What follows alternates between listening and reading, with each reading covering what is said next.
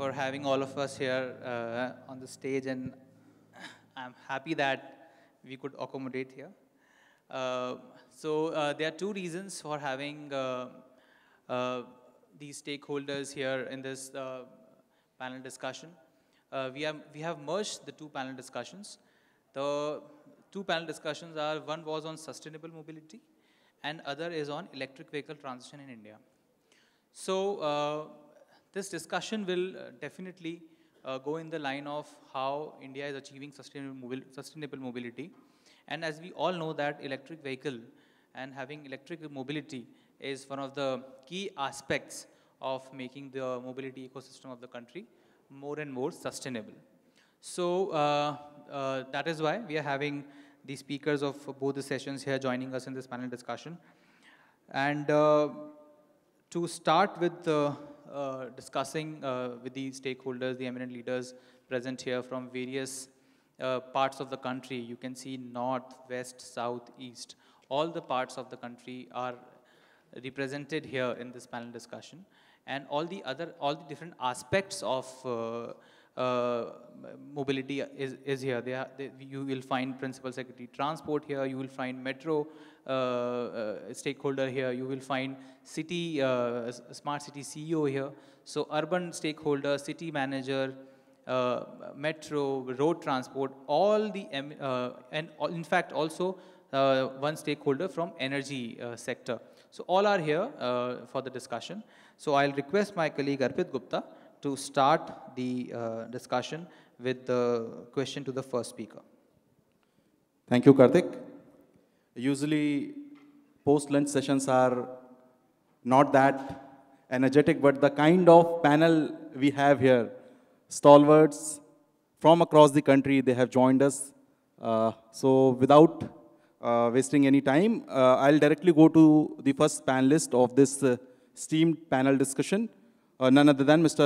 Loknath Behera, asking the first question. Sir, we are discussing about future of mobility, sustainable transport, and transport ecosystem since morning. So the topic for this panel discussion that we are having today is achieving sustainable mobility consumer-friendly approach. So could you please uh, describe what has been your experience with sustainable mobility and what kind of initiatives the Kerala government, especially Kochi Metro, has undertaken in the state? Over to you. At the outset, I thank uh, Economic Times and uh, the distinguished uh, co-panelists and distinguished uh, people in the audience. First of all, I must confess one thing. What is sustainable mobility, I only understood after I joined the metro. What I don't, I did not know what is sustainable. I mean, if you go by lexicon and the dictionary meaning of sustainable, which actually sustains. So the question is, when I would request, because you are from the fourth estate, better actually teach people that what is sustainable. We people actually sitting in very good air conditioned atmosphere and talking about sustainable doesn't mean actually it is anything called sustainable. First, this I also spoke in an indirect way in the UMI conference which happened uh, very recently in Cochin. Okay, right. Going by sustainable, you think that we'll have to take care of climate change, we have to do this, environmental protection, and kind of things. So many things are put together. So then the integration of tickets, intermodal integration, so many things put together makes the entire thing very complicated. Now, let us actually talk in terms of the sustainable for whom? Sustainable for the metro company or the bus company? Or the, it is sustainable for the people? That's the first question actually is to be answered. If it is sustainable for the people and they do not know, probably they do not know, they know one thing that if I travel by metro or by BEST, which is one of the finest services in the country, uh, I will reach in time and uh, everything will be there. But whether we should say that is sustainable transport. According to your, I mean, definitions, it has to be and so many things. Okay. going by Cochin is one of the, as many of you must have visited, I don't though belong to Cochin, is one of the finest and most beautiful cities in this country. Because 27% of the city is filled with water and beautiful water. I mean, the Vembanad actually is a kind. So it had a very robust water transport system for thousands of years. Now, what we thought is that we brought, we brought the one and only in the world, the water metro, which is going to be inaugurated. It is basically, again, a sustainable kind of thing because this is the boat which we are adjudged as the best boat in the world two weeks back.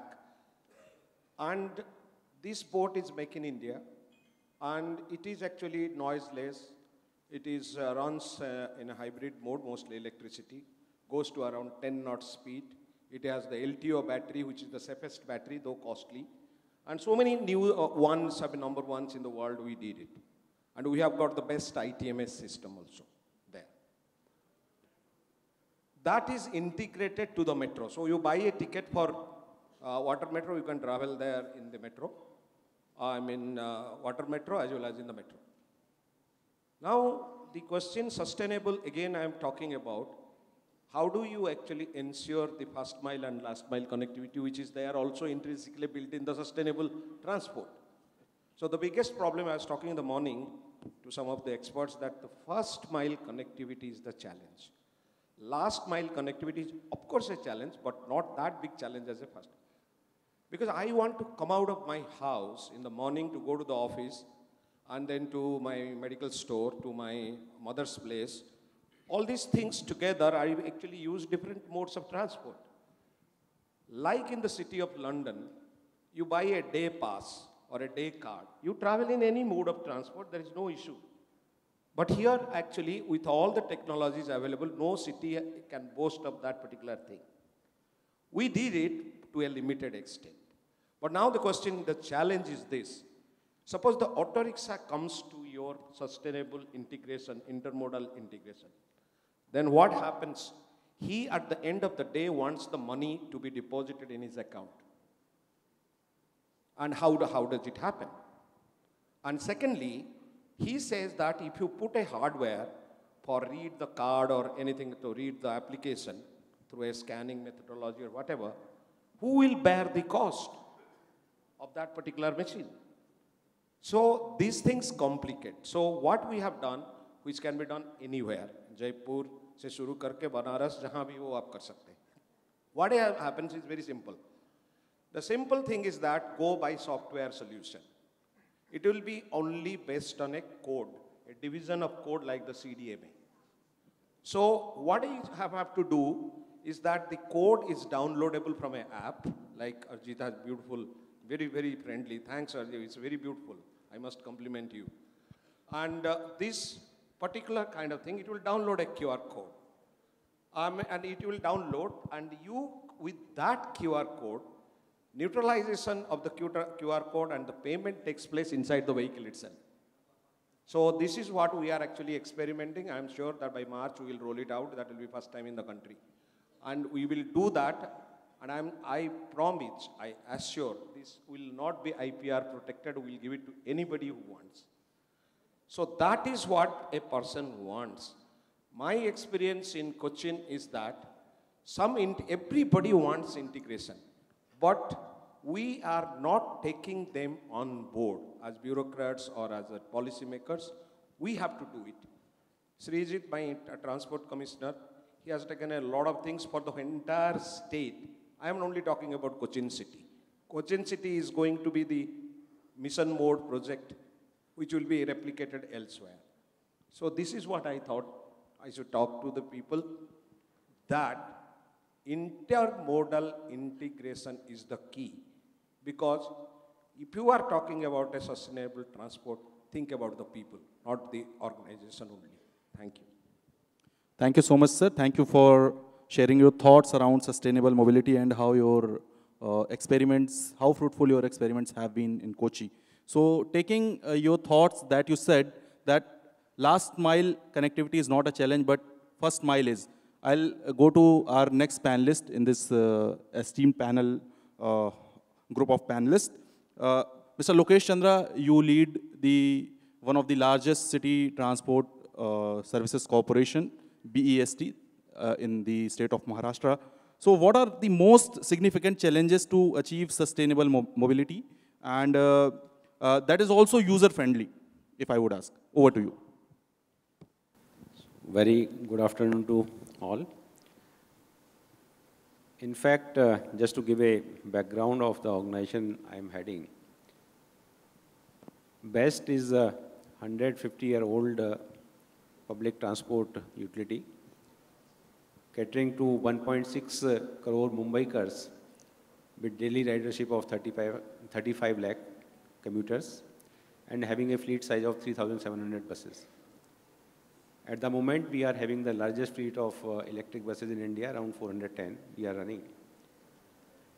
Now, as far as uh, the challenges and uh, commuter-friendly approaches which we have initiated in the BEST to make uh, the operation sustainable, I'd like to share some of the initiative we have started in last one year. See, the urban bus tran transport system has got two inherent problems. One is the quality, another is the reliability. Now, quality is basically due to inadequate fleet size, old fleet, and then at the same time it is uh, uh, again coupled with the bad financial condition of the city transport utilities. We have reliability issue because in the present scenario, there is uh, no information available to the commuter who is coming to a bus stop when the next bus is coming. So to address these two basic issues, what we have done, to ensure that our public bus transport system is reliable, efficient, commuter friendly, at the same time it's environment friendly and self-sustainable. We have started with some basic uh, systematic reforms in which we have tried to improve the frequency of the buses within the existing fleet. What we did, we looked at the data. We realized around 85% of the commuters are having a ridership of up to 7 kilometers. That gives us some insight to do the route rationalization as well as fleet rationalization. Now, as a result, what has happened the frequency of some of the bus routes, which was more than an hour or 45 minutes, has gone down to 20 minutes. Now, second aspect was the reliability or giving the information in real time to the commuters.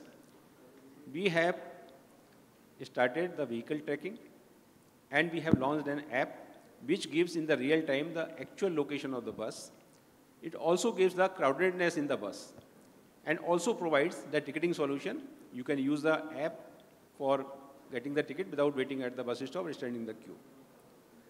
Second thing which we have done to promote the digital payments, along with this app, we have also started closed loop card as well as the NCMC card. In fact, uh, we are the first uh, bus utility in India who has launched the NCMC card in last April. Now, these initiatives has helped us a lot in the form of increased ridership. In the last six to eight months, our ridership has gone by 35%. It has already crossed the pre-COVID levels. Our revenues has also gone from 1.6 crore per day to 2.3, 2.4 crores per day. And at the same time, it has reduced the waiting time at the bus stops. So monthly on average, we are saving 6 lakh productive man days of the commuters on the monthly basis for those who are using our bus network. At the same time, now what is the option? When we are looking for the fleet augmentation, how can we make these operations sustainable, which are environment friendly, at the same time cost effective also. Now, for me, as a bus operator, I think Sustainability more is related to my making the operations more uh, financial viable. And if I can also look at the environment aspect while doing so, I think that will give me double benefit of making it more uh, sustainable. So as a policy decision, what we have done, we have taken a decision to increase the fleet size by three times. So by year 2026, our fleet size will be 10,000 buses. By next year end, it will be around 7,000, so it will be the double of the present size. While doing so, what we have done, we looked at the various options, whether we should go for the diesel buses, CNG buses, or the electric buses. Now, normally when we talk about the electric buses, the first question comes into mind, how we can afford, because it's very, very costly. But if you look at the life cycle cost of the operation, because the bus is going to stay for 12 to 15 years, we found that it is the most economical viable solution as far as the cost of operation is concerned. Now, if I look the per kilometer cost of fuel, in case of electric bus, if it is X, in case of CNG, it is 3X, and in case of diesel, it is 5X. So 15% is the capital cost of the bus for this 15-year operation, 85% is the cost of operation and maintenance. So after doing all these uh, calculations, we realized, and we have taken a decision that we will be going for 100% electric vehicles. Now, with this, how we can further reduce the cost of operation because my per kilometer cost of operation today is 150 rupees and my cost uh, per kilometer realization is around 49 rupees. So how to bridge this 100 rupees? So the digital, uh, the uh, technological intervention which we have done, we have started in our uh, organization is going for digital buses. At present, we are running 250 digital buses, basically which, are fitted with the tap-in, tap-out facility. So we have reduced the cost of conductor. At the same time, we have gone for the gross cost contract model, where we have reduced the cost of operation by outsourcing the bus operation, where the bus comes with the driver with the maintenance cost. So per kilometer cost, which we have discovered from the uh, market by the bidding, is now come down to 46 rupees per kilometer. Now, further to this, to take care of uh, first mile and last mile connectivity, we have started e-bikes. In fact, uh, wherever we don't have the bus network, we have the app-based uh, operated uh, e-bikes where anybody who want to use it, download the app, and then you can operate that bike as per your requirement and leave it at the designated places. My bus stops are having these designated places where uh, they, you can take it, and then you can leave it at a, another place where, which is nearby to your workplace or maybe your uh, house. Another intervention which we have done is another product which is essentially for promoting more and more people who are using their self-driven cars to switch over to the public transport uh, mode. What we have done, we have started app-based luxury bus service, which is basically essentially Ola Uber kind of uh, thing, where you can book the bus, seat in the bus by using the app, make the payment digitally, and you can live track that bus in real time, and you can reach the uh, bus stop from where you have to board it, and then uh, you can complete your journey. In this, now it is a win-win situation because the commuter is paying less than the shared taxi cost. It is, uh, and for self-driven car, it is much more uh, economical.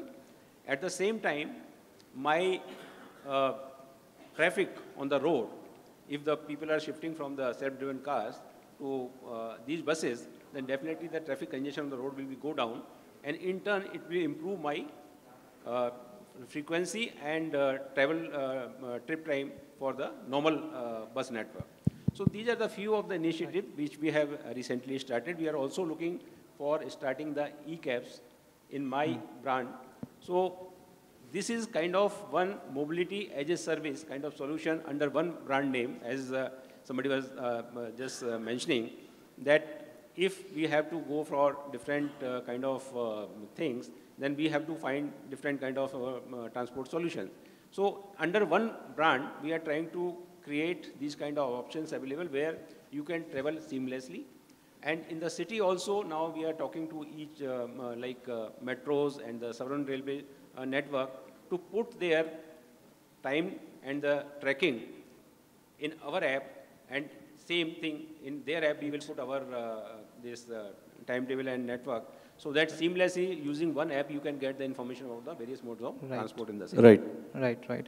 I think uh, it's great to know from you several digital initiatives, electric mobility initiatives uh, BEST is, uh, is taking, and uh, such great work by a government company in terms of providing accessible, affordable, yet a sustainable transport uh, to common people is appreciable. And when we talk of Mumbai, I think Delhi is also no less. And uh, today we have here uh, with us Mr. Ashish Kundra. You must be knowing him. Recently, he has also delivered his address in COP27 on electric mobility itself. And uh, uh, those who follow him on social media um, will be knowing that Delhi is actually doing a lot of, uh, taking a lot of initiatives in terms of sustainable mobility, in terms of electric mobility, electric vehicle transition. So, uh, Mr. Kundra, I would like to ask you, uh, uh, as far as I know, you are looking, you are aggressively planning and also apply, applying the uh, electric vehicles and uh, uh, government is very aggressive towards electric mobility in uh, NCT uh, Delhi. So please tell us about that and what is the future of electric mobility in India? Yeah, thank you very much. And uh, so Delhi was, you know, an early starter, and like we launched our electric vehicle policy in August 2020. So it's been two years. One year went by in COVID, but uh, I think that notwithstanding, today the numbers are very encouraging. So we are, uh, you know, this year from January to November, 10% of new vehicles registered in Delhi are electric, which I think is a, is a very good number given that uh, there has been a very short span of time in which we have been able to do this.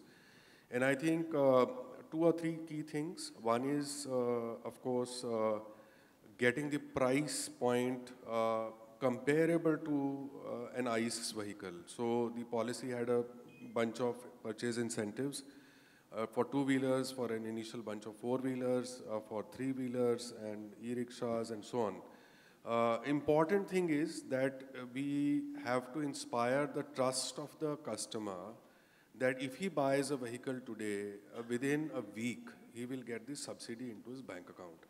So we created a digital framework, so Aadhaar-linked kind of, uh, you know, subsidy payouts, and we have disbursed something like 120 crores uh, of uh, subsidy on electric vehicles so far. Uh, so that is one. But related point is also, I think, some myth busting. So, uh, you know, people who are on the verge of buying a new vehicle, uh, it's not as if, you know, it's a choice between A brand of coffee or B brand of coffee. Uh, it's a very significant decision where price points matter. So uh, I think strategic communication is a very important uh, element. And what we did was that we partnered with WhatsApp and we created a chatbot. And, uh, uh, you know, we kind of listed out the typical questions which are in their mind. What is the range of a vehicle? What is the cost uh, per kilometer? How much does this cost? What are the models available? So on and so forth. And, uh, and you know, to everybody who goes to uh, take a driving test, who has taken a learner license, uh, we shoot out these WhatsApp chatbot messages. So if I assume that 30% of those are potential buyers, uh, at least some uh, will get converted to, uh, to this uh, mode of thing. The other thing is that uh, we have to have a very robust uh, charging infrastructure in the city so that the range anxiety which people feel should be addressed. And in that, what we did was, one is that we have kind of, through the discoms, we have impaneled, uh, you know, 10 uh, charging companies, uh, mix of slow and fast chargers. We have got uh, a scheme which says, if you buy a charger to install in your home, at your shop, in your mall, in your office, uh, we will give you 6,000 rupees subsidy per charger. Now, slow charger typically costs about 8,500. So, which means more than two-thirds of the cost of the charger is being subsidized. And we have created this for about 30,000 chargers. So, which means about 18 crores we set aside for this uh, project itself. Uh, so far in Delhi, we have about 3,500 um, charge points, and our charging action plan uh, basically envisages that we'll have 18,000 charging points by 2025. And now we have created teams of officers at the district level who are kind of mapping out. So we've got geo coordinates of all parking lots. We have got geo coordinates also of all EV owners. So we have partnered with MapmyIndia. We have created a geospatial heat map of EV owners, uh, parking lots, charging points. So that the scientific planning of charging infra can happen and we share that with the charging companies. And I think more importantly, we have to have a very active and robust dialogue with all these startups who are dominating this space. Uh, so in a city like Delhi, there are so many players, and unless I have a dialogue with them every, like once in a month, I would be lost on what they're doing. You know, battery swapping, some, somebody has a plan of installing battery swapping stations in every square kilometer of Delhi, and so on. That gives you ideas. So I think uh, net net, uh, it's a mix of various things. But in the end, I think um, it's also the customer at the end of the day. Uh, it's economics which counts. Uh, it's not out of altruism people are making that switch for environment. Uh, so let's be real, and uh, I think uh, uh, I think we can, we are on the right track. That's what I think. it's not that we have achieved fantastic things, but I think we are on the right track. Yeah. No, so our target of electrification, it's a good question actually. Uh, our target is that by 2024, 25% of new vehicles sold should be electric. So obviously now as we are going ahead, uh, you know, including the electrification of the bus fleet, uh, uh you know, for example, for every 100 buses, typically you need about 5 megawatt load. So if I'm planning for 8,000 electric buses by 2025, it means 400 megawatts additional load. Uh, so what we are now uh, telling the fleet operators, particularly, who are running purely electric fleets, that you go for solar charging and battery storage. So uh, that is something which we are doing. But yes, obviously, with a framework of this kind, and I mean, I don't know how rapid this is going to be, but yes, it is going to put a stress on the grid, and soon enough we'll have to come out with some, uh, you know, hubs for charging which are solar powered and battery storage. Yeah. Right. Uh, thank you, thank you, Mr. Ashish Kundra, Principal Secretary of Transport uh, in Government of Delhi. Uh, great to know about such uh, electric mobility initiatives in the uh, city of Delhi. And when we talk about uh, a fleet of electric vehicles, the Pune has, as, as, far as I researched, is one of the largest fleets of electric vehicles. we have with us Mr. Om Prakash Bakoria, Chairman and Managing Director of Pune Mahanagar Parivahan Mahamandal Limited, PMPML. Uh, Bukaria ji, I would like to ask you, Bakoria ji, I would like to ask you that uh, what is the, uh, you know, tell us about the status of electric vehicles uh, in Pune and uh, what are the plans for more EVs uh, in the city of Pune? Thank you. Thank you for this. I think uh, Mumbai is the topmost as far as electrical vehicle is concerned. Right now, we are uh, operating 498 buses, and uh, 150 more buses are coming. And in future, uh, we are going to purchase 300 more buses. So by 2030, uh, our mission is to convert all uh, buses, it would be uh, electrical buses. That is what we are planning. And right now we have uh, 15 depots and uh, five depots are means fully operational and uh, remaining um, depots we will convert into a electrical depots. So uh, I think uh, next uh, five to 10 years we will convert all vehicles, all buses, electrified buses in Pune city. So that is our target and we need means substantial efforts for converting these buses. And um, means in doing so, we are, there are two types of different uh, obstacles. One is related to the technology, uh, because uh, battery cost is almost 50% cost of the buses. So we are, our dependency uh, is on China, mainly lithium and based batteries we are importing from the China and one kilowatt hour, they are charging almost to $180 to $200. So that is the biggest challenge uh, which India uh, is facing right now. So technical, uh, technological development as well as uh, infrastructure development, that is the major concern for converting these buses into electrical buses. So moving next, uh, uh, we have also uh, Smart City CEO from Jaipur.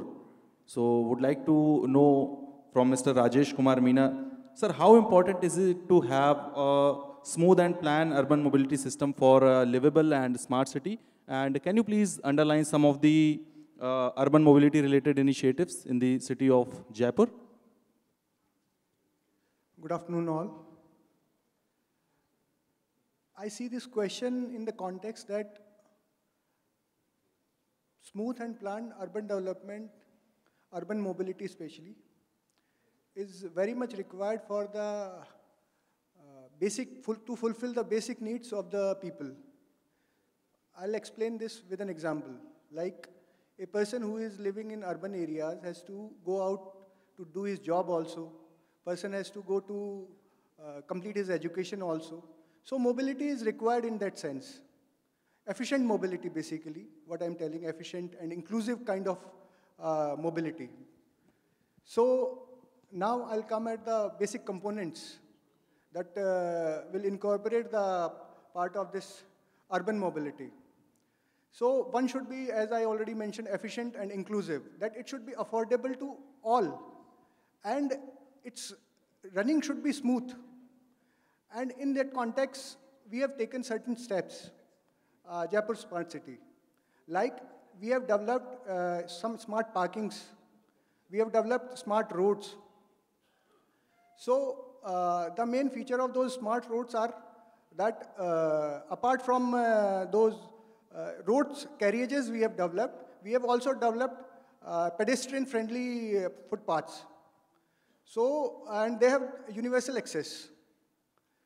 And uh, apart from this, uh, uh, the main problem we, which we faced in uh, developing this urban mobility initiative was the lack of the space because we were working in the heritage area. So land was limited there. So we tried to make best use of that, like uh, the parkings uh, lane which we, we, designed were designed for making the best possible use of available land. So, uh, and apart from uh, these initiatives, Jaipur Smart City has also developed uh, multi-level car parkings outside the walled city area so that it will help in uh, decongesting uh, the traffic in the walled city area. So, and uh, we have applied some smart solutions also in developing these car parkings. Like we have installed some smart sensors and uh, we have taken it further, like uh, people can book advance uh, their, uh, their car parkings by paying some uh, small amount. So it will be a big help to those people who are going in the city area and who are not sure that whether they will get the car parking or not. So they can first see the availability of car parkings in those in the JSCL app and uh, on basis of that, uh, they can decide about their commute, commutation. So these are some of the initiatives taken by the Jaipur Smart City. Uh, apart from this, uh, we have also addressed uh, the mobility of uh, emergency services. Like one example I would like to share with you all. we have experienced that uh, in this crowded uh, area of walled city, these uh, fire brigade vehicles were not able to pass through smoothly. So, in order to cater that need of the people, so we thought that uh, why not to take the service, emergency services to the people themselves. So uh, we designed uh, a project and we laid some underground pipelines and connected those pipeline to the nearest pump station. So this will help in uh, reducing the uh, rounds of the fire brigade vehicle. And fire brigade vehicle will get the access to the water from those particular uh, pipelines only. uh, which are designed for this purpose, and water will be 24 hours available in those pipelines. So these are some of the smart solutions uh, which Jaipur Smart City has introduced in order to make the uh, living standard of pe people of Jaipur better. Thank you. Thank you so much, Mr. Rajesh. I think uh, uh, a city management's role is also very important to ensure urban mobility, sound urban mobility uh, in a city. Uh, uh, apart from, you know, moving people is very important rather than moving vehicle. So definitely city management and, uh, uh, makes a very important role. Uh, and when now um, Mr. Kundra spoke about, as we know that in electric mobility, he spoke about charging there are still uh, persisting challenges uh, with uh, the charging ecosystem the, for using the electric vehicles. So we have our guest here, Mr. Naveen Sharma, who is an officer on special duty in Rajasthan Renewable Energy Corporation Limited. Uh, Naveen ji, uh, we all know that uh, yes, electric vehicles are quite sustainable, but still electricity is, again, generation is from mostly from thermal power stations. So again, there is a challenge to sustainability. So when we talk of, uh, uh, you know, having renewable energy as a source of charging, so what other challenges do you see? And uh, they, one is uh, the rates at which uh, the charging is available is can be a rate. There can be some peak hours of renewable energy, sometimes uh, not the peak hours. So tell us about this some charging related to renewable energy for electric vehicles. Thank you, Karthik. Uh, good afternoon, everyone. So the path is very clear. All of, we are all discussing about the mobility issues in urban areas. The total number of EVs sold in 2012 is same as total number of EVs sold per week now in 2022. So that is the pace of transition which we are facing globally. Similarly, we are also seeing that energy demand is rising in almost all the sectors, whether it is buildings or agriculture or industry, as well as more so in the electric vehicle zone. So every electric vehicle needs charging, that's obvious, at least once a day, maybe twice or thrice, depending on the, your, uh, how, how, how you are using it, what kind of vehicle you are using it. And the technologies of charging is also evolving every other day. So you have chargers ranging from 15 minutes to, say, for a day, you need to charge your vehicle. For, from a very basic studies and rough estimates, about 100 gigawatts of power electricity power would be required by 2030 in India to charge electric vehicles on roads. So that is quite a big figure. So how do we meet it? How are DISCOMs are planning to meet these, this, this energy demand, especially for the electric vehicles? So if we are just going the way we are going, then this 100 gigawatts would be, you know, sustained by the traditional coal-based, gas-based, or the fossil fuel-based. So the whole purpose of shifting from fossil fuel-based transport to electric vehicle-based transport would be lost. It's just shifting from one source to another fossil fuel source.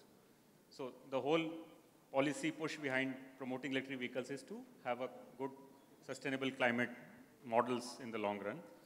And the way to attract a customer is about the operational cost is less for electric vehicle, obviously. 10 rupees kilometer in petrol to 2 to 3 rupees per kilometer in the electric vehicle cases. So here comes the role of the policymakers and how to understand the whole scenario which is evolving. As far as the electric vehicle policies and guidelines are concerned, whether it is by the DHI or by the CEA or Ministry of Power, they are very well settled. The subsidies are settled, the, the, the charging standards and all the battery standards are being evolved very well in the country. Just to give a brief perspective of the renewable energy in the state of Rajasthan, just to conclude my brief, you know, reflection on the question which you have raised, Rajasthan is a, is a blessed state when it comes to solar energy. We all know it is the already, in fact, global capital of solar energy in, in times to come. We are already competing with a state like California and Texas in terms of capacity installed in the Rajasthan. We are right now have 20 gigawatts of renewables capacity installed. We are the largest, biggest exporting, RE exporting state in the country. And, and we already have about 70, 80 gigawatts of investors coming up and lined up and registered in Rajasthan for renewable energy. So we will become one of the you know, big suppliers for renewable energy in, times to come. Now, how to match this huge surpluses available with us to the demand across country? That is a question which we need to, which we need to discuss and reflect in, in coming sessions. For example, in 2019, Rajasthan came up with a very progressive solar energy policy in which it was clearly mentioned that how we intend to promote EV-based charging stations and EV-based charging of electric vehicles. For example, first 500 public EV charging stations from solar would be subsidized by 50% as far as the land cost is concerned. We are already processing those applications and UDH, Director Local, Local Bodies, RECO investment, uh, all these departments have already issued notifications in this regard. Similarly, for 10 years, there will be no transmission and wheeling charges when it comes to open access and captive-based drawal of renewables for EV charging stations. So these are the small steps which will make, you know, the charging of electric vehicles in next five year, 10 years from the renewables. Unless we do that, unless we develop good business models for the public EV charging stations and also for the charging of my vehicle in my home and in my office in, in idle hours from a subsidized clean green energy, the whole purpose will be lost. So that is all I have to say for the, today's uh, session in this regard. Thank you, Naveen Uh, moving next, we have uh, Ms. Sonia Arora. She is urban transport expert, Institute of Urban Transport, Ministry of Housing and Urban Affairs, Government of India. We heard a lot of stalwarts from uh, different states, and uh, as uh, most of them uh, told us that many cities have experimented with low emission vehicles, uh, mobility as a service, or uh, or micro mobility as major options. So I would like to ask you, what are, according to you, what are the most significant challenges when it comes to adopting sustainable transport, uh, which are customer friendly, friendly or user friendly? Over to you. Thank you, Udit. Uh, first of all, I must say thank you to invite me and uh, give me a chance to talk on this important issue. Uh, in your question, there are three things. First is sustainable transport, then is challenges and the user-friendly challenges. The sustainable transport, as Sir has already explained what is uh, sustainable transport, it basically includes public transport, non-motorized transport, environment-friendly and other things. So these are the sustainable transport, the broader definition of sustainable transport we talk about. Now, what are the user-friendly things which relates to these uh, mode of various modes of transport, especially public transport and non-motorized. As we all are users, we have to get out from our home, we have to go somewhere for any purpose, we have to uh, uh, do the trip in, in any form and every day. So what we want actually, what we want, we want accessibility, a safe accessibility to public transport, or to non-motorized if I am a cycle user or if I am a pedestrian, I need a safe pedestrian pathways. So first of all, I need that. The second uh, thing which any user want is whether the system is integrated or not Like suppose when we go out in, in, in any other country, we say, wow, that, that, have a very, that country have a very good system. हम एक बार घर से निकलते हैं plan कर लेते हैं कि घर से निकलेंगे will take a cab will take a then metro and then bus और then we go to we reach to that particular station and then come out came back with the same route so we plan when when we are at home we plan our trip so why not in india so that is the second i think most important thing which any user want that uh, what to say a travel diary like how to, like suppose if I want to go, uh, right now if I want to go to the uh, old city of Jaipur, then how will I go there? I don't know. I don't know the process. If I, if I go to Google, then I don't uh, get the incomplete information how I reach to that old city area. So then the third thing which a user want, a user-friendly thing or user want for their trip is uh, the integration, fair integration. Suppose if I have one card, then I can use that card in all public transport modes, in auto or in, in any other mode of transport. If I take the auto and then I, then I take the metro, then I take the bus, so I can use one card. We always say one nation, one card. So that kind of thing any user want for their uh, trip. The other important thing is uh, user wants that uh, integration, a physical integration, I must say. Like, I'll give you a small example of this. Uh, my office is at Anand Vihar. Anand Vihar in Delhi. So that's a very prominent uh, place in, in Delhi. At Anand Vihar, you will find a station, a railway station. You'll find a metro line. There are two or three metro lines. You'll find a interstate bus terminal. There is an intra-city bus terminal. Everything is there and that's on the UP border. But you don't find the most important information is information integration. You don't know where to go, how to go, how to reach that particular station. So for every customer who, who is getting down from that railway station don't know how to reach that metro station. So that information is completely missing. It's just one example I'm giving you. So that information is completely missing. So that kind of information a user wants, that's a very simple thing. But these things are missing in most of the uh, places where uh, any user goes. So these, these things user wants. Now, the other important thing at uh, government, as an urban transport expert, I'm just uh, giving these suggestions. So the other thing is that we are saying that there are a lot of institutions in our city and they work in silos. When we talk about universal accessibility, we, we develop a world-class metro. We have a world-class metros in various cities. Right now, almost uh, 800 kilometers of metros are running in, in 20 cities. But we, when you get out from that metro station, there is no accessibility, you are on road you don't find anything where to go. So that kind of uh, user-friendly thing is missing in our planning, what I think. At national level, we have many policy documents. We have National Urban Transport Policy 2006. We have Metro Rail Policy. We have Transit-Oriented Development Policy. We have uh, like various reforms. We have all the documents are there in, in, the, in the website. So all these documents talk about the uh, user-friendly things. We mandate uh, this uh, last mile connectivity, uh, this NCMC, uh, etc. in metro rail policy. So, but at the implementation level, uh, I don't know, I think there is some issue when we implement these modes of transport. Another challenge at national level, what I think at personal level is that urban transport is not even identified in our constitution.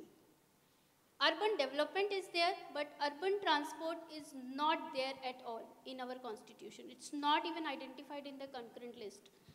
So I think uh, that's why the rules act, sir, if I'm not uh, wrong, I think you are the pioneers of this, so this is uh, what I feel is another problem in urban mobility so that uh, if we can find the solution, so maybe we can give the more user-friendly uh, uh, transport modes to our commuters. That's it. Thank you. Thank you. And I think these are some really pertinent issues. Uh, we'll come to you, sir. we'll come to you for the question after the panel discussion is over. So, sure. Yeah.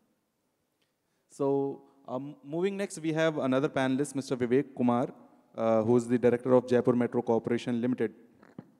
So we heard uh, Lokesh sir, Loknath sir, Ashish sir talking about uh, sustainable mobility and also promoting alternate mode of transport like bicycling, shared mobility, um, and, uh, and uh, a lot of things, uh, other uh, city corporation and metro corporations are adopting. So I would like to ask you, how effective do you think these solutions would be in navigating the future of mobility, uh, especially in the Indian context? Thank you, uh, Economic Times and JC TCL uh, for giving me this opportunity. Can you be a bit louder, please? Uh, okay. Thank you, Economic Times and JCTCL for giving me this opportunity. Uh, first of all, I would like to, you know, mm, uh, explain my views on uh, uh, sustainable uh, mobility and transportation. See, uh, basically we all know that social, economic and environmental, these are the three basic concepts of mm, mo- sustainable mobility, which came into existence in 1990s as, um, and 1990s. But if you, as, uh, as per my experience of working in Indian Railways, in metro, or even otherwise, what I feel is uh, since big, uh, uh, uh, since uh, mm, even pre-independence era and since beginning we are uh, uh, already uh, doing this uh, planning and uh, sustainable mobility concept is uh, existing since long. If you uh, see the data of railways, uh, the track which uh, we are using now, 60% of the track is already built uh, uh, in 1950s, in pre-independence. The buildings, if you see, uh, the bridges, uh, Mumbai Suburban, Calcutta tram, tr- tram, and these all infrastructure was made in uh, uh, pre-independence era, and it is uh, serving and uh, even today's need needs are being uh, uh, fulfilled by these this infrastructure. तो ये this shows that हमारा जो planning था वो पहले से ही हम लोग ये करते आए हैं और लास्ट माइल कनेक्टिविटी की बात करें तो सपोज़ आप साइडिंग की बात ले लीजिए almost every industry cement factory हो या कोल माइंस हो अंदर तक साइडिंग गई हुई है और जो पैसेंजर एम्यूनिटीज़ की भी बात करें तो everywhere planning was there but somewhere in 1990s uh, कुछ ऐसा हुआ कि हम लोग ट्रैक लूज़ कर गए एंड जो सडन जंप हुआ इसमें अपना मोटर व्हीकल्स में प्राइवेट व्हीकल्स में एंड इसके कारण जो है वो अ,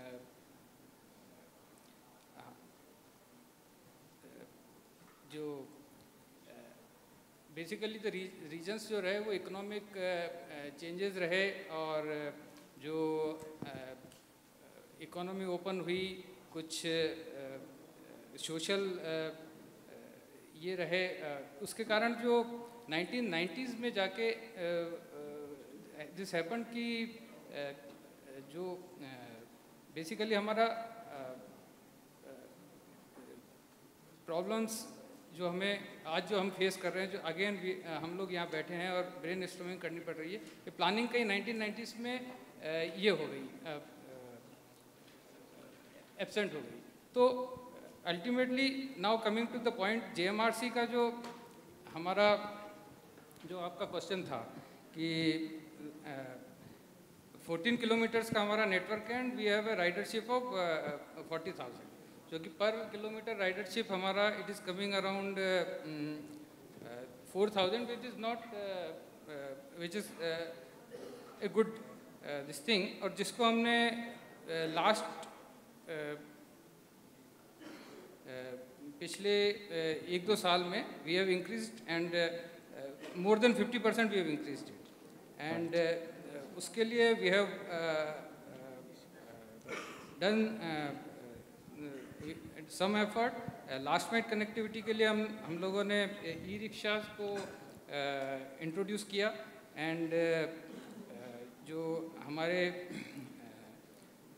नेटवर्क में railway station and Sindhi camp bus stand और हेरिटेज के जो पॉइंट्स थे, उनको हाईलाइट किया कैचमेंट एरियाज़ को ये किया सो उससे हमारा जो राइडरशिप है, वो पिछले छः आठ महीने में और पिछले एक साल में ऑलमोस्ट डबल हुआ एंड लास्ट माइल कनेक्टिविटी के लिए हमने जो ई रिक्शाज जो हायर किए जो चलाए उसमें हमने उनको कुछ सब्सिडी दी एंड नेक्स्ट एडवांस स्टेज में we are developing a application so. Last mile connectivity के लिए एक एप्लीकेशन हम बनाने की सोच रहे हैं जिसमें it it will be M mobility as a service concept को लेके कि उसमें passengers can you know plan their journey e rickshaws का भी उसमें जीपीएस लगा के लोकेशन रहेगा। एंड नेक्स्ट स्टेप में हम लोग जो साइकिल साइकिल्स हैं उसके प्रमोशन के लिए भी free parking to cycles cycles taking the cycles in the metros metro में कोचेज में साइकिल ले जाएँ इस तरह के कॉन्सेप्ट को भी लाने की सोच रहे हैं। बिल्कुल Vivek ji I think you have rightly plan कि मेट्रो तभी सक्सेसफुल होती है जब उसके पेरिफरल्स आपके जैसे चाहे ई रिक्शा हो चाहे कनेक्टिंग रोड ट्रांसपोर्ट हो वो जब तक वहाँ रीचे रीचेबल नहीं होगी मेट्रो वहाँ from home to metro station तब तक शायद मेट्रो सक्सेसफुल नहीं हो पाएगी एंड वी होप कि Jaipur metro becomes more popular in the second phase और थर्ड फ़ेज़ तो definitely great things you are. Uh, most of the speakers uh, talked about uh, electric mobility and its challenges. And one of them is, yes, electrification uh, is there, but charging uh, infrastructure is a problem. So uh, I will come to Bhupesh Rathod, National Head of Corporate and Government Advisory, Yes Bank. Bhupesh, Yes Bank is also into advisory. And uh, we know that you have been working on EV policies of several states as well as an advisor. Uh, uh, so uh, I would like to ask you that how this electrification is changing the you know face of urban mobility in the country, and what are the you know use cases for more and more EV adoption, and what are the you know what can be the impact of this charging ecosystem also. So give us a view because you have worked on EV policies of several states. Give us some your thoughts on this. Thanks. I think uh, charging infra has been covered in detail, so I'll just give you my two cents. On the policy side, obviously, uh, you know, many states we have worked with, and I'm also working with some of the private sector on their growth advisory uh, in terms of TOT transfers and Bit louder, Bhupesh, please. and uh, other such stuff. Uh, on the charging infra, uh, I think uh, you know there is one thing which I which I uh, generally feel is uh, that collaboration is missing. Collaboration, when I say range anxiety, maybe it's it's it's overly rated in my opinion in some of the segments which are taking at least shape in India, right? So you're talking about uh, three wheelers, you're talking about two wheelers, right? And even if you're talking about the STU, we are currently talking about the segment which is just 10% representative of the entire bus market, right? So you have the the uh, the other markets which are still not been tapped upon, right? So I think initially uh, much talked about. If I'm putting the numbers right, uh, and particularly for India, so the, there's a forecast that we did, and there is a forecast that we did even for 2047 in a recent, uh, which probably will be launched tomorrow. Uh, is that by 2030 we see that a CAGR growth of a EV will be somewhere around 55% uh, sales, and this leads to uh, 13 to 15 million vehicles, right? And it will be dominated by obviously two-wheeler and three-wheeler. And three-wheeler, if we currently see, uh, the penetration is somewhere around 4.5% this fiscal, and it is uh, the last fiscal and this year I think it is going to touch 8% uh, in terms of the penetration numbers. You talk about two-wheelers, then current today uh, we are talking about 5 to 6% of penetration, and maybe this year you will have 8 lakh units sold. But what we are talking about is the city limit scooters. What we are talking about the is the L3, which is on the lower side, right? We are not today talking about the L5. We are not today talking about the LCV, which will have impact on the grid as well, right? So we're not saying that you do not prepare as of now, but I think charging infra to an extent for these particular use cases have already been taken care. Uh, maybe to an extent, execution seems to be an issue. Uh, so maybe it, a right institution structure at the state level could be the key. Uh, is is one one of the points because we meet a lot of these players who are trying to establish their own charging infra uh, network, and I think the permission uh, takes a lot of time. So that is one such issue which I'm aware of. Uh, spoke about the bus uh, as you see the adoption happening in the other use cases, which are your schools, your corporate office, your office related, and intracity. And then you will have a distributed, uh, you know, charging infra that is needed. And obviously you have some tenders. So aggregation, if happens at the level of the way we did for uh, buses, uh, if you are able to do it at the level of uh, CSL and also uh, one thing which I honestly feel is the missing of a business model, right? So we are talking about various players in this stage. We're talking about the companies who are manufacturing it. We are, we are talking about uh, the CPOs who would play an important role. So the how do you bring that element, whether it in the form of VGF that we have seen in infrastructure, if you bring that particular aspect, at least the charging infra, which is currently needed where the, the volumes are not that high, uh, is, in my opinion, uh, the key pain point uh, for, for it to take off at, at such a level. So, so that's, and three points. One is the intraoperability. Uh, and one of the points which I honestly think is missing is the standardization, whether it is related to the connectors. I think that, that is one thing where we would urge, you know, the, the, uh, the various departments, whether it is DST. I think those are the aspects, while proprietary uh, charging standards are good uh, for a niche, but when you're talking about uh, adoption at such a mass level, standardization should happen, whether you're talking about battery swapping or you're talking about the protocols, uh, the connectors that are connecting the EVSE standards. I think that is, that is more important uh, where the government should lay their emphasis on. Right, right. Bhupesh, you're very much right. And I think standardization, interoperability, they all will take place when there is a robust and uh, successful business model around electric mobility. Def Absolutely. Definitely. So I think it's a crux of your uh, inputs uh, on the, in this discussion. Uh, our last speaker of this panel discussion, Mr. Kishore Nathani, Principal Advisor of Urban Mass Transit Company Limited, Government of India. Uh, you are a veteran in mobility space uh, of years of experience in mobility. So, uh, what about uh, you know to ensure the comfortable travel for passenger as well as a zero emission mobility, especially for the cities? Uh, how it can be ensured? What can be the policy interventions? Your thoughts? आप लोगों को दिख नहीं रहा होगा but हमारी तरफ़ एक रिवर्स क्लॉक लगी हुई है और जिसमें हमारा समय तो समाप्त हो चुका है सो बट एंड जो भी मैं एक्चुअली बोल रहा हूँ सब लोग it's a borrowed information and knowledge which I have which I would say one cent not two cents I'll say about this See, as far as the commute is concerned, as a commuter, बड़ा simple requirement है as a commuter मेरे को auto की जैसे flexibility दे दीजिए. Metro की जैसे assurance दे दीजिए. और बस के हिसाब से लेंथ दे दीजिए. I am more than happy to commute और जेब जितना भारी रहे, उतना अच्छा मेरे लिए तो खर्चा कम करो। So remove the pain points which I have कि बस कहाँ से मिलेगी, वहाँ तक कैसे जाना होगा, मेरे को एक फ्लेक्सिबल ऑटो दे दीजिए, बस में पहुँच जाऊँगा। मैं खुश हूँ बिकॉज़ बस की रिलायबिलिटी आपने मेट्रो की जैसे कर दी है। और सेफ्टी भी पूरी तरीके से अवेलेबल है so if you give me all that and somebody use the word here as mobility as a service तो I am more than happy to actually use the services of mobility and I am actually using the road also optimally.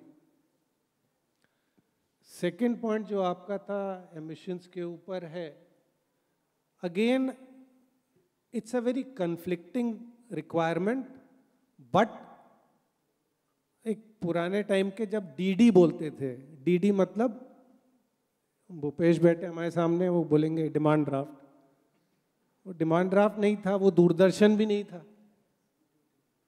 Due diligence भी नहीं है. वो है degree of difficulty आप लोग games खेलते हैं जिम्नास्टिक्स में देख लो ट्रैम्पोलिन में देख लीजिए स्विमिंग में देख लीजिए डिग्री ऑफ़ डिफ़िकल्टी के हिसाब से आपको नंबर मिलते थे। जब आप जंप कर रहे होते स्विमिंग पूल में बोलते थे डिग्री ऑफ़ डिफ़िकल्टी 8.8 उसके हिसाब से उसके मार्किंग होती थी। Similarly in case of urban mobility और for that matter mobility only increase the degree of difficulty for owning I would say a car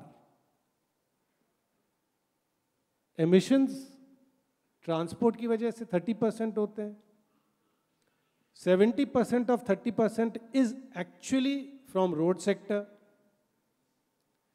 45 to 50 percent is actually on vehicles on the in the road sector which are for passenger buses बड़ा minimal है उसमें। तो if you make it difficult for me to own a car that would be paradoxical because he is willing to give me funds and I am earning so I would like to own a car make it difficult for me second अगर मेरे पास एक car है तो और भी difficult कर दीजिए मेरे को दूसरा कार खरीदने के लिए and the Delhi authorities are actually away I mean they are taking steps parking के हिसाब से आप कर लो तो make it difficult for me to own a personalise mode of transport I am not talking about two wheelers because aspirational India अभी भी है बट थ्री व्हीलर्स की ज़रूरत नहीं है बट फोर व्हीलर्स को make it difficult that is actually going to help us in improving the emissions as far as the urban sector is concerned. And that is what I would like to say. And thank you. Thank you, Mr. Nathani. I think it was a last address of, uh, but uh, quite interesting. And you actually touched upon the layman's problem and how layman can be happy if he, uh, and every aspect of mobility has its own uh, good things like auto flexibility of auto you spoke about and uh, so I think uh, it is a collective effort from all the aspects of mobility to make mobility ecosystem sustainable and more usable for people. So here I request now Arpit to do the closing remarks so that we can close the session. So I think without, instead of giving closing remark, let's have a question. Actually, I kept one uh, person in the audience uh, waiting this for question the question. is to make you realize that we were all the time waking. We were not sleeping after the post-lunch session. And the question is about the electric vehicle transition. My question is about the recyclability of the batteries. Is there any policy as on date that the auto manufacturing units would either go for a buyback arrangement from the first time buyer or there would be some kind of concession when the batteries would be replaced because the major investment or the major cost in electrical vehicle is of battery and at the same time the lithium ion battery if discharged into some kind of dumping grounds then perhaps the issue of environment would also come in. So what is the policy on that issue? That's my question. Sir, if I can take this question and then uh, so there are two parts, uh, and I think uh, I'll have to just check. But I, I guess there was some discussion, and I guess that police policy has been notified, which is, which is the. so, so there is there is one part is I, I think on the policy front, if I'm not wrong, that is that policy has been not notified by Ministry of Environment and Forest, uh, which is on the EPR, so extended producer responsibility. I think I think that is that is something, uh, if I'm not wrong, has been notified, which takes care of where uh, the OEMs uh, become responsible, but we'll have to vet that. Uh, the other part is, uh, which is on the battery recycling. so there is, there is a beautiful scheme which is created by uh, MeitY. and I think in last addendum, probably somewhere in August or July, they included the uh, the, the backward linkage uh, electronic value chain, uh, which goes into creating, you know, creating equipments or electronic devices which, which are used for recycling the battery and you can take out the maximum uh, rare mineral which is which is present there right? So these are the two things which i am uh, currently aware of in terms of the policy uh, policy policy thing and what is the next question? I think next question we can take off uh, the dais because uh, we have one more panel discussion to go. Sorry for the inconvenience.